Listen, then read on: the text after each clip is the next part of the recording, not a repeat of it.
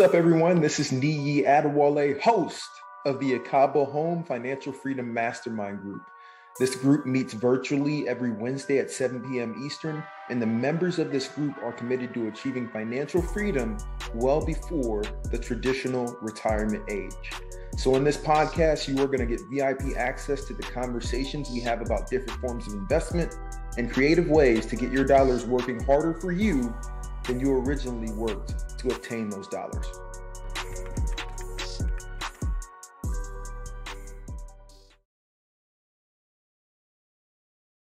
I'm truly excited. We're joined by Jordan Spector, who is actually one of my former teammates at Temple University. And I can tell you that when we weren't trying to knock each other's block off, he was leaning into his true passion of creating incredible pieces of art.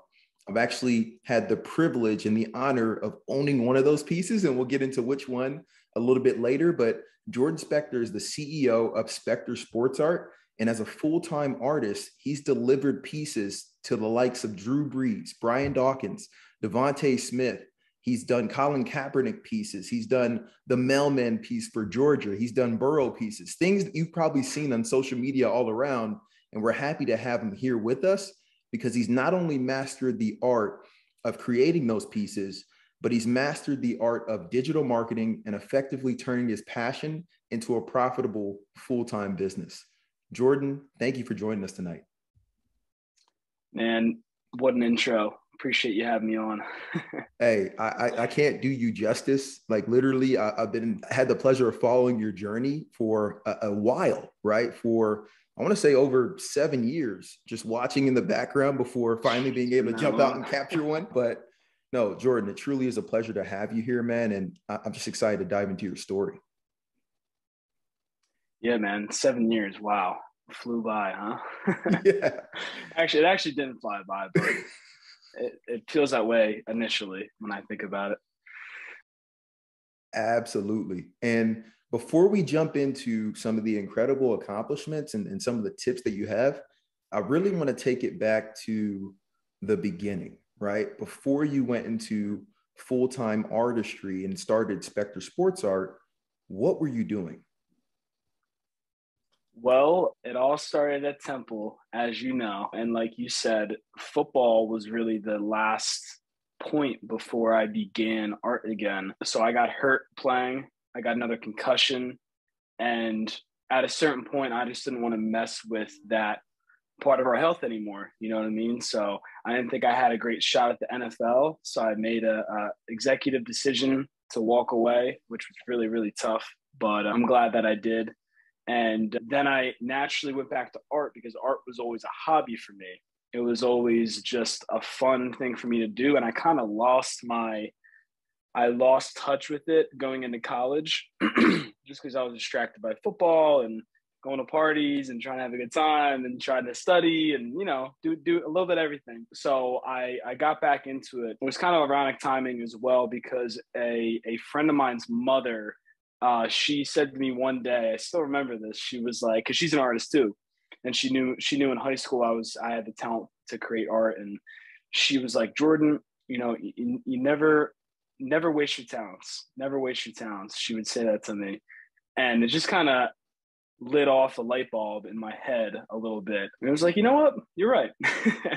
so, you know, multiple factors played into me picking back up on it. But the difference this time was because of football and still having that passion for it, I started doing pieces of guys that were playing on the team, like Tyler Matakevich, who was just an all star. And I you know, I, I was inspired by him to make something of him looking all jacked up, bigger than he actually was, which he liked. But yeah, man, that's that's really how it started. Me just getting into it and, and doing that for. And then you know, one one thing after another, I would do another illustration. I would do another illustration, and people started to pay me to make a drawing, and I was like, wow.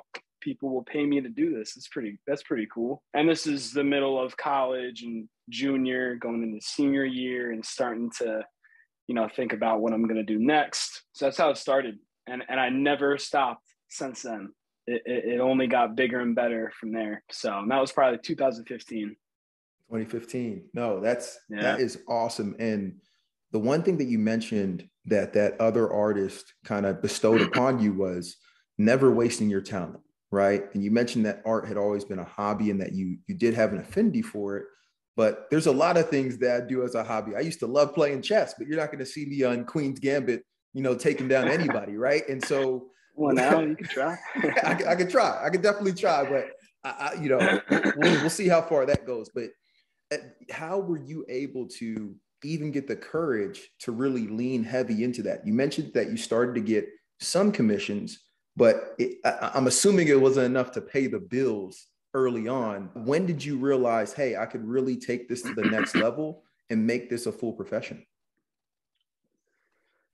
That took time to get to that point because that was a, a battle for me. One, number one, just having the time to take on enough work when I'm in school. So it definitely it couldn't happen when I was in school. But I just I just I didn't stop as and I just kept going. I, I tried to put a little bit of time into it every day, a little bit of time into my craft every day and I started to feel that and notice that and try to make it a habit.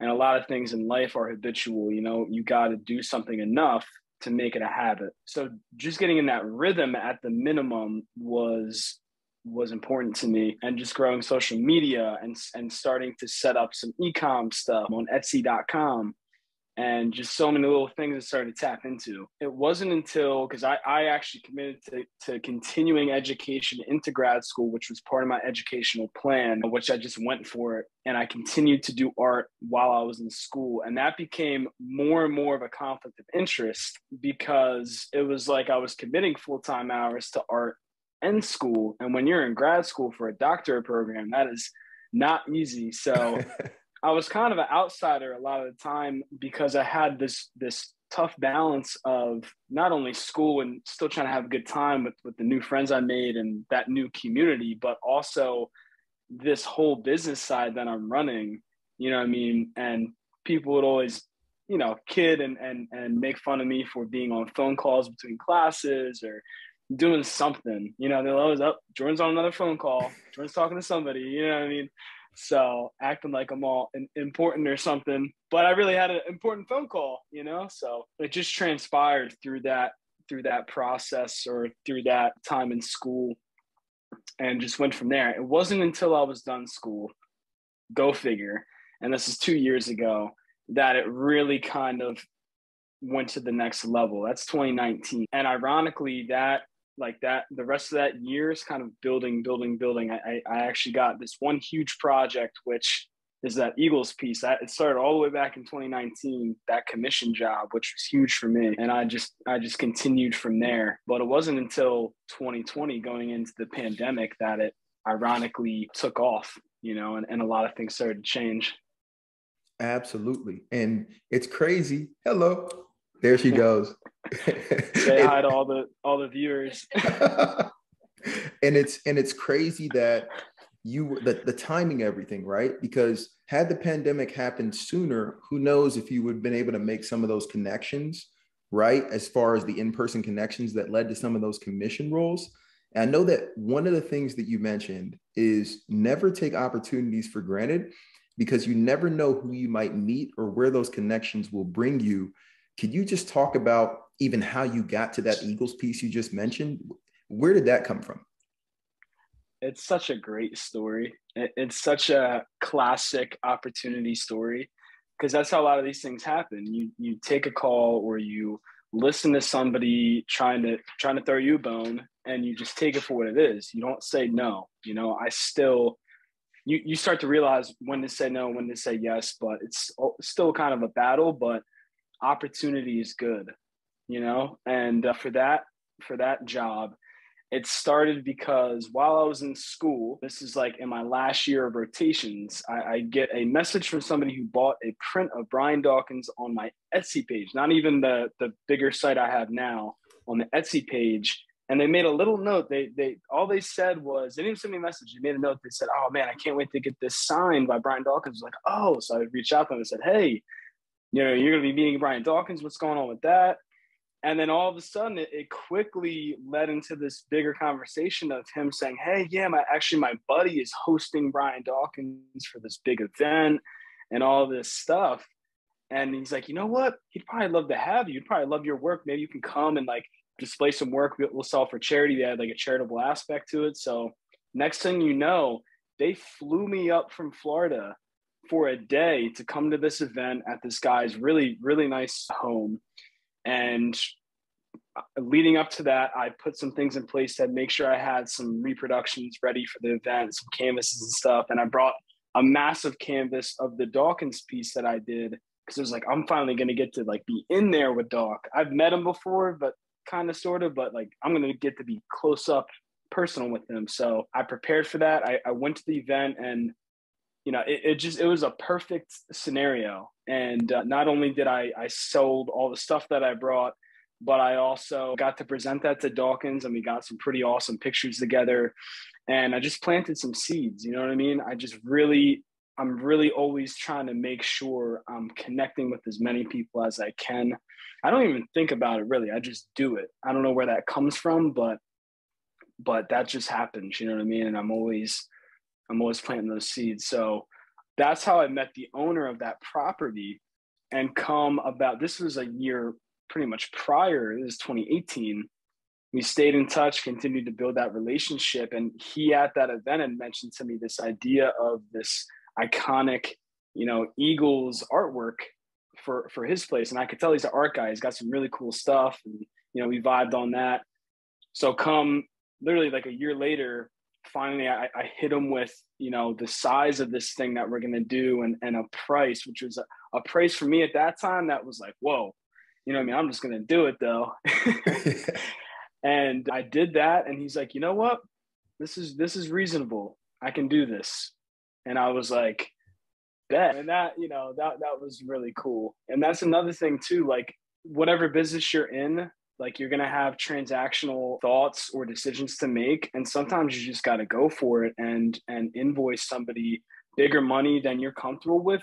But that's because it's you. You're not used to dealing with bigger money and people who are who are going to invest in whatever it is that you're offering or selling so that was a really cool learning lesson as well and that helped me kind of change the gears a little bit as well for you know what am i what am i going to charge for my time to do that you know? And that and after the fact it's funny because that actually wasn't enough for the amount of time it took but but that was a good learning lesson. And, and that right there is a gem right? Don't sell yourself short. And i think for all yeah. the members of the Ekabo Home Financial Freedom Mastermind Group, as well as the listeners, that's huge. The value that you're bringing to this world, at times we can, because we're in our own body, we can almost put a cap or a limit on that, but you have to ask for your worth and maybe a little bit above that, man. Inflation, you got to take the prices up. You got to take the prices up nowadays. Yeah. And and to your point, you did put in a lot of work and I've seen that piece and I've seen some of the videos and the pictures. It's incredible. Would you mind just giving the dimensions of that piece just so the listeners know? That's 38 inches tall by 180 inches long, which is 15 feet long by a little a little bigger than three and a half feet tall. So it's huge. And then to frame that thing, which which we later on added to the project, I searched to so many different framers to anybody who would at least frame it, and nobody would even touch it because it was so big and one guy locally actually did the job and, and he crushed it but it was that big that they don't even make the materials for frames that big so he had to do a custom fusing and you know but it's incredible if you if you see in person it, it is really incredible you know so and that that is awesome and it's it's truly like when you look back, hindsight's 2020. Now you can see where the connections, like, okay, I met this person and it led to this. I got to meet Weapon X and I got to do this commission piece, and now I'm kind of off to the races.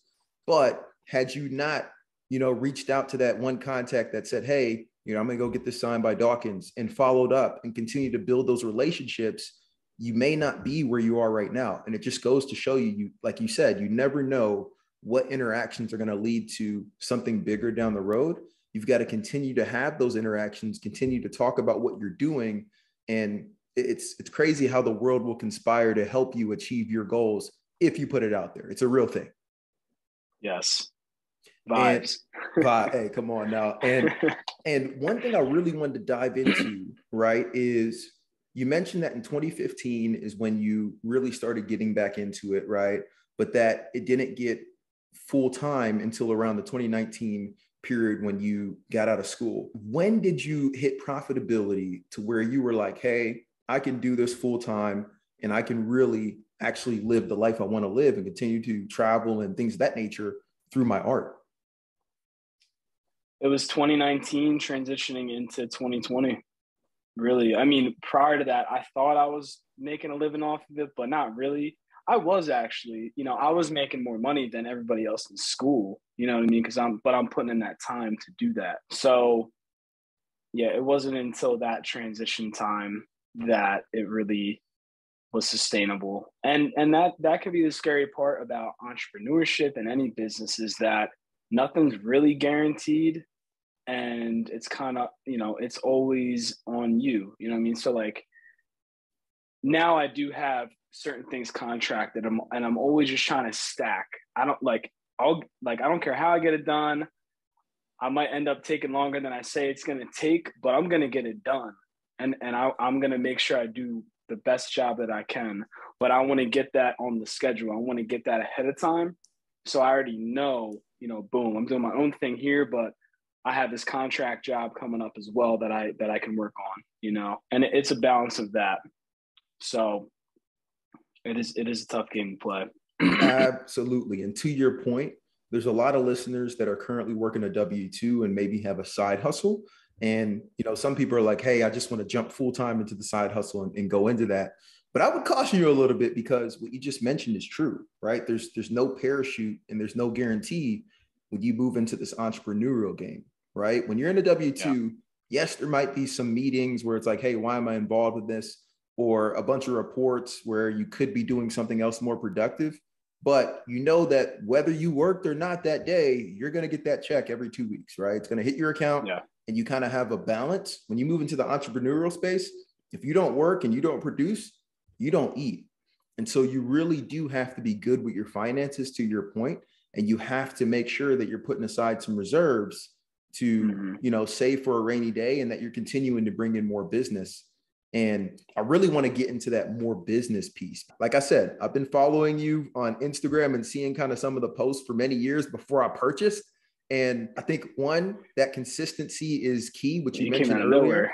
yeah, I, I know, I, I, but I was seeing, I was like, man, this dude's this dude's pretty good. He's getting he's getting better and better.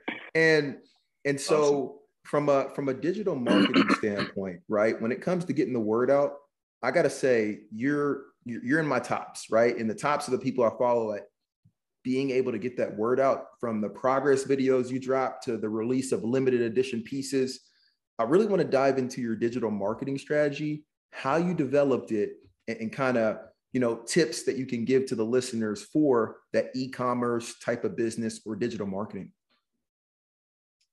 Man, there's so many hacks to that game, and and I love it to a certain extent. Like I love I love that side of it. It can be overwhelming at times, but I've slowly, as we've talked about, I've, I've been trying to put the right people in place to help with various things that I'm doing because it's a big operation that people don't see. But yeah, man, I mean, I mean, number one for me, for anybody, social media. You gotta start social media and just try to get content, create content, just put something out there. And I don't know why this is popping in my head now, but a good point overall for anybody is don't get caught up in like the little details. And especially so many artists of, of mine that are one one guy in Philly, he's the most talented artist I've ever known or seen still to this day and i love his work and he just never had the knack for the business side and even making a website and stuff like that so i actually made his website for him on shopify just because i know shopify so well i made it in a day or two and that over a year or two that has brought him so much value because he had people stack lining up like hey can i buy a print of this can i buy a print of this so you got to have some somewhere to, to push people you know what I mean? So social media, landing page of some sort. You know, a, Ekabo Home. Am I saying that right? Ekabo Homes. Yeah. Ekabo Homes. You know, you have Linktree, and that that's a landing page somebody can go there they can go somewhere else it's a network so so those two components right there are very important and if you haven't done it before it, it, it's it's tedious and it's time consuming and it's it could be stressful but it can happen and once you learn it you just learn a whole new skill that's the other thing too that that's the confidence that i have now is that listen like if i stop being an artist tomorrow well i could i could lead a marketing team for this company at the same time. Like i just know so much just by doing it on my own. And that is one benefit of building your own business and building a lot of these digital marketing strategies over time it's definitely a, a cool skill to have and and to to know that you've learned. So to continue on on the digital marketing hack you know like i said social media website shopify i always recommend to people it's so easy to build on and it's so easy to scale and their customer service is is the best out there. And then you know tapping into more finite marketing as well email email is huge still today yes email is number one for me and a lot of people still use email and even shopify has a free email crm version where you can up to a certain amount a month you can send emails out to a subscriber list that you build for free and then after that, there's plenty of good options out there. I use something called Klaviyo for email marketing. And you basically pay based on subscribers, right? And there's a strategy on there to actually scrub your list every now and then to try and get rid of people who aren't engaging. Because it really is another form of social media, right? You want people engaging, opening your emails, clicking through to your website, stuff like that. So um, you know that that's another easy thing to get going and just like i said starting with that that free option on shopify. And then you got sms as well which which is a little more complex and expensive but there's that as well. And then you got social media website email sms i'm trying to think what else. You know obviously there's paid advertising as well that you can eventually get into. And and although paid advertising is a little bit of a dicey game, you got to be careful and you, you want to eventually find the right person that's going to strategize that with you. And I have a little team that I do that with for marketing, Facebook advertising, Instagram advertising. And now I do a little bit of, of a budget towards Google as well. But that is part of what took everything to the next level in going into 2020. That was a ecom boom going into the pandemic. And luckily I had some of these pieces already in place and and hit the ground running. So once I saw the power of that, the, the scalability of that, it was a game changer because now I can I can pay to put my art product, whatever it is, in front of more people and cut and chop and edit and learn what works, learn what people are engaging with, learn what people want to see, want to hear. And it just goes and goes and goes from there. So that's that's another another way mm-hmm. to to kind of get the word out. But to your point, you mentioned a bunch of different methods for getting that word out. And one that you mentioned that's a, a bit of an old school way, but the the email, right? You said that's still super powerful. How mm-hmm. often do you recommend sending out emails to that subscriber base? And and what do you really include in those? Like, is it limited editions? Is it what's the content in some of those emails? I actually I haven't used it in a little bit, but I'm actually subscribed to somebody else who gives on a weekly basis his recommendations for different excuses to send an email. Hey, my one company, because he actually he does this for a living. He's like an email guru. So hey, this one client of mine did this email. Check it out. This is what they said. This is what they talked about. Check this one out, and it'll show you like the open rates, the click rates on it, stuff like that. But aside from that, and and sometimes I slack on that a little bit, which that's pressure I put on myself. But I think if you're doing at least one email a month, that that's really good, especially for art. You don't want to bombard people, but you also have flows. So the cool thing with with Klaviyo or a lot of these other email email CRM companies is that you can set up a lot of different flows. So that's constant engagement for different reasons. So like if you land on my website, right? You're going to see a pop up. It's going to say sign up for 20% off and email. And then it's actually double opt in where you can provide your phone number and then you're going to get the discount. So email goes to the email system, phone number goes to the SMS system, and then they get automated automat automated sorry automated emails and, and text messages about signing up. And that's already set that flow.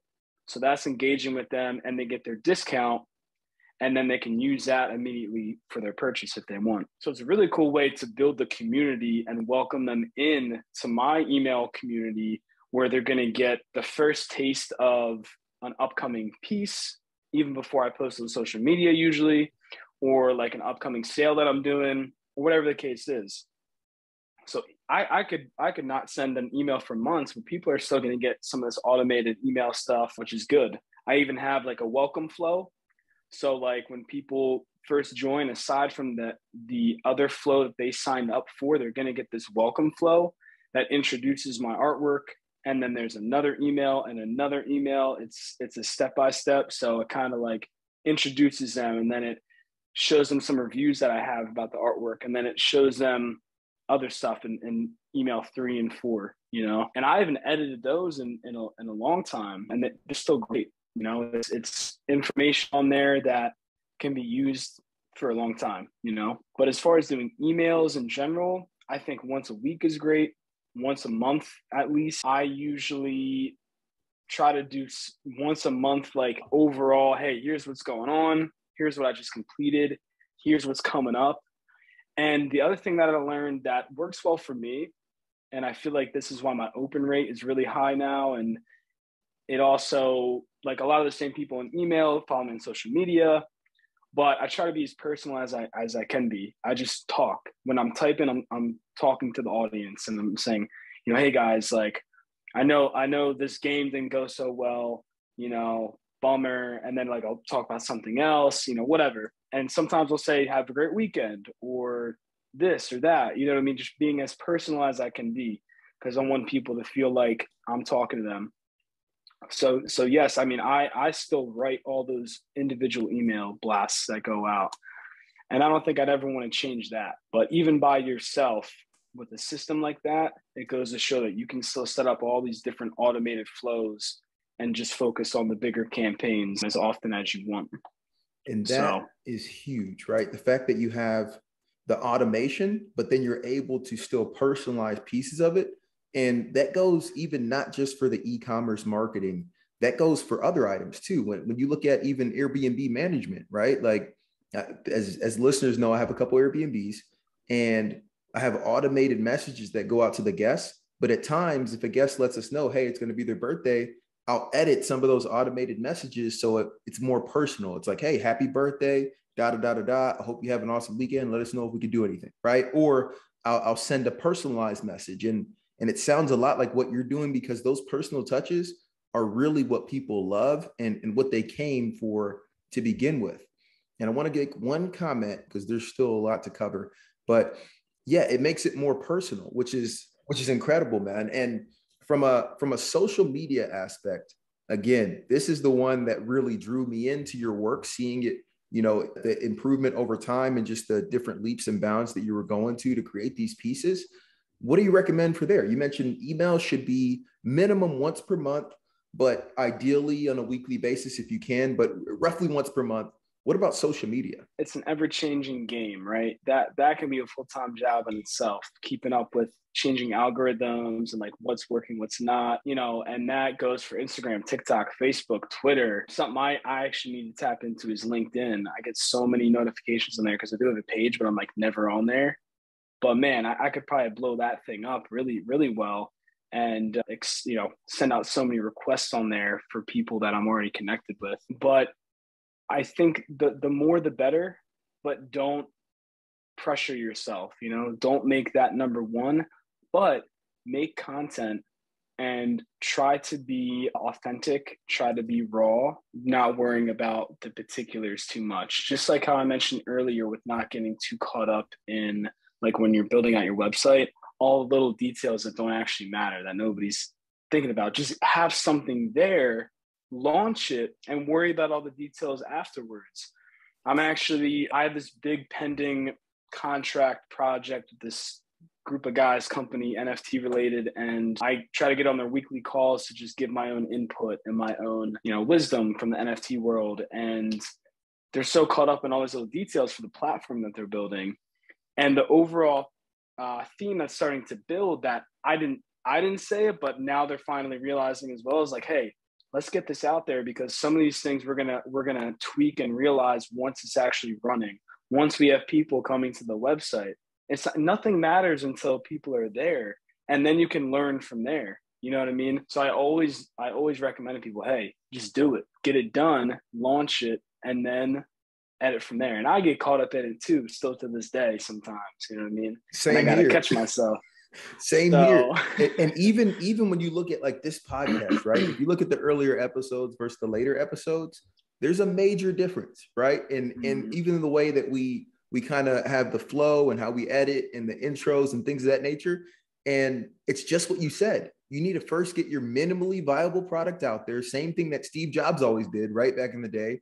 And then once you start getting customer feedback and, and people that are actually using it, you can edit from there. But until you get it out there, you could you could drive yourself crazy trying to find the exact color of the background and the perfect Mhm. music that you want to Oh. put in.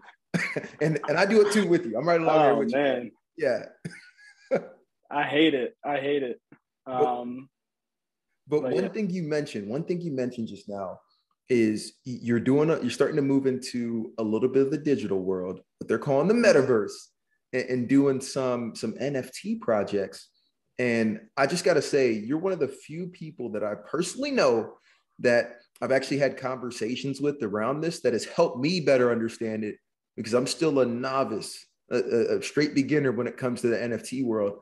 But would you mind first defining kind of in your own terms what an NFT is and and then kind of how an NFT owner gets paid? Yeah, I, I mean, I feel like the NFT definition and and what it represents, I like the way to explain it. I have on lock, you know, and I feel like I understood it pretty quickly when I found out about it. And the thing about NFTs is people like people like, what is an NFT? Non fungible token. What does that mean? And it, it does sound so complex, but it's not complex at all. It's actually very powerful and and it's a really great thing that exists. But the way that I like to explain it from the art perspective, the art world, is that it's it's a glorified certificate of authenticity, right?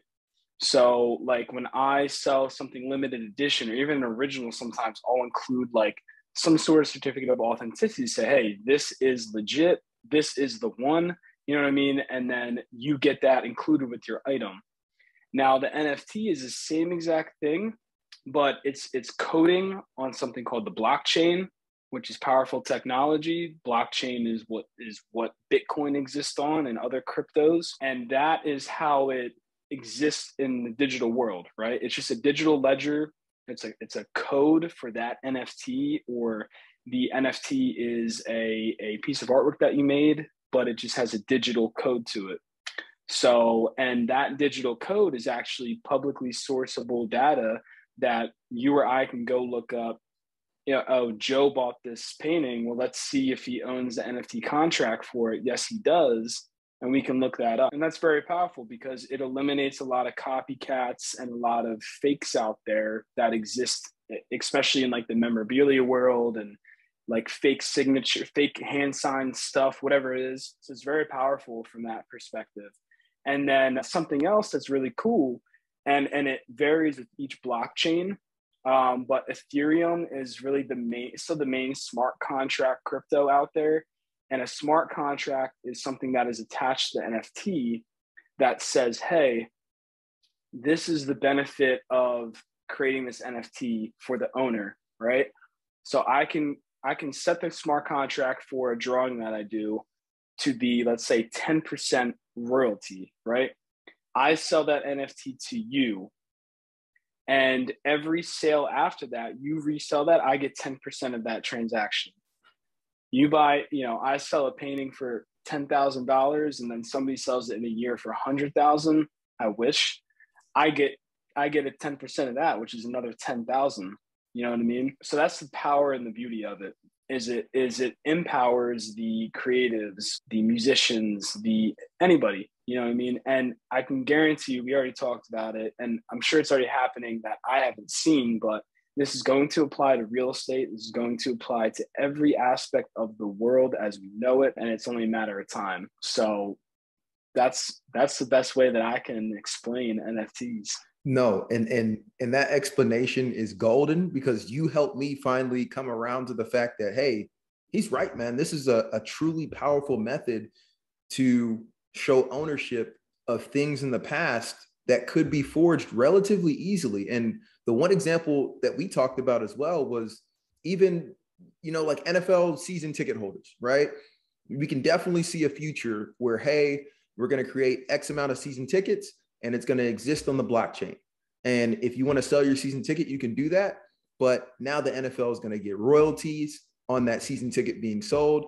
And now you know, hey, this isn't a fake. This is the one and only. And here goes the trail leading to that. So it, it, there's so many use cases. And if the NFL does that, they need to pay both of us. But there's so many use cases. And you know, I, I'm I'm steadily watching and, and learning through you, through osmosis, so that I can find a way to, to try to tap into this NFT world and, and blockchain as well. Cause this is, uh, it's the future, man. It's pretty exciting. Yeah, absolutely. And and like I said, there's so many use cases for it. The the main that you've seen and most people have seen up until this point is art and music, and that'll continue to evolve as well. So, and then you know you have you have representation of just pure art. People are buying it because they love to look at it. They like how it looks. And then you've got projects that have a bunch of utility attached to holding that NFT. You know, you're holding something that gives you access to this. You're holding something that gives you, you know, membership into something. So those are the other kind of scenarios that you see a lot. Yeah. And and Jordan, we're getting close to the end in the last couple questions. But before we ask those questions, I really want to just say thank you for the work that you've been doing. A lot of people may have seen the Kobe piece I have, and if they haven't, they're going to see it because we're going to include it in the show notes. And it's oh, amazing. Oh, nice. This is an incredible piece that that you did right after the passing of the legend in 2020, and I have it hanging right at the entrance of, of my wall and. I know the values continue to go up as you continue to do more projects. So I plan to keep this for a while, man. And Love and it. no, no, the work that you do is incredible, seriously. And if those, for those who haven't seen it yet, definitely check out the show notes, click the link, and you're going to be able to go check out Spector Sports Art and see kind of what he's got going on. Yeah, man. Thank you for having me and allowing me to talk about the the nitty gritty and and the the rise to the occasion. And you know, it's all it's all fun to talk about. And I love to I love to put it out there. Come on now. And I got two more questions. One, how can our listeners and, and viewers help you? What are some of your goals in 2022 and how can they help you achieve those goals? Wow. Well, I would say if if you like what you heard and you want to follow along with my work, you can follow my social media pages. You threw out my company name. That's also my website, spectorsportsart.com. And then on Twitter and Instagram, at Spector underscore art. Feel free to follow me on there. Engage with my posts if you want. Hit me up on there. I'm pretty responsive. That's really it. You know, I'm I'm I'm thankful and grateful for people that not only buy stuff but just engage with my work and show some sort of support. You know, so you don't have to buy something. You can just follow along. You know, and engage. You know, so absolutely, absolutely. And I said one more question, but really I got two more. One, where are you based right now? Because we talked about it before, but but where are you sitting right now? I am in Costa Rica at the moment. and and and I, I'm guessing that you're not shipping prints from Costa Rica to, to all over the world, people that are buying. How are you getting when somebody places the order? How are you getting it to them? What what what systems have you put in place?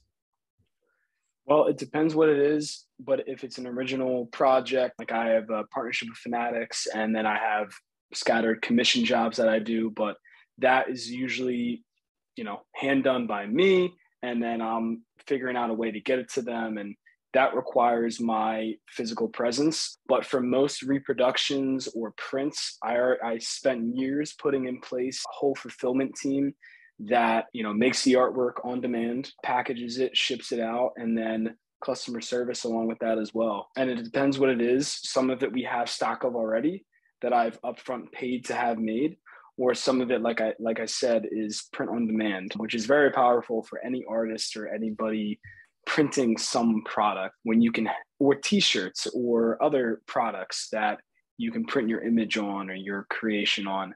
Um, that you know that's the name of the game today because one lesson i did learn early on was don't have overhead especially for t-shirts because i i dabbled with t-shirts for a little bit and i had a bunch of t-shirts that i invested to have made and then I had to sit on them for like a year or two. But I, I'm, I think I still have a box of T-shirts from all the way back then that I never sold. So that was an important lesson to learn for me to get something like that in place. Well, I will take a T-shirt, right? And I'm definitely going to hound you for that. But one, one last question for me, and this is about some of your future projects. I saw a video drop. I think it was yesterday or two days ago, and I'm like, "Hold up, man! What's he doing now?" What's a project that you're working on? I know you got plenty, but one that you're really excited about that's going to be coming out here, you know, the next couple weeks. Next couple weeks, I'd say more so next couple months, but I'm working on a a Sixers mural that it's a very similar concept to the Eagles thing that I did. It it just represents the entire history of the Sixers and all the, the best players ever, including Embiid because he he deserves to be in there, and that's who my client wanted as well. But this gentleman actually owns an indoor gym basketball court, full size, on his estate. And, uh, you know, he reached out to me to see if I could put together this masterpiece. And I'm always up for the challenge. So that's that's one of the bigger things I'm working on, probably, and probably what I'm most excited about. But I have a ton of other commission work as well, which I, I will post on my page for the most part. Some stuff I can't put out there, but most of it I can but that's definitely the most exciting one currently that I'm working on. That is dope. I can't wait to see it, especially in the gym. And I think you should go and play that guy one on one too, man. You gotta you gotta christen the court once that thing is up there. But Jordan, in all seriousness, again, just want to say thank you for taking time out from the beaches of Costa Rica to to join the Financial Mastermind podcast. And no, we appreciate you, man. And we look forward to continuing to follow your journey all the way to the top. And just like he said, please follow Jordan's pages. Definitely want to see this journey and continue to order and support his business the same way that you support us. Jordan, thank you. Thank you, man.